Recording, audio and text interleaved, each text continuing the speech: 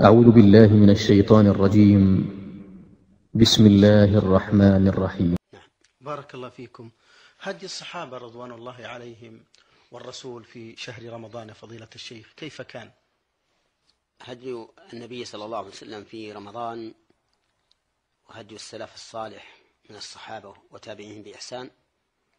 استغلال هذا الشهر المبارك بكثرة فعل الخير واجتناب فعل الشر. فلقد كان النبي عليه الصلاة والسلام يأتيه جبريل كل ليلة يعرض عليه النبي صلى الله عليه وسلم القرآن وكان النبي صلى الله عليه وسلم حين يلقاه جبريل أجود بالخيل بالخير من الريح المرسلة. وكان عليه الصلاة والسلام أجود الناس وكان أجود ما يكون في رمضان.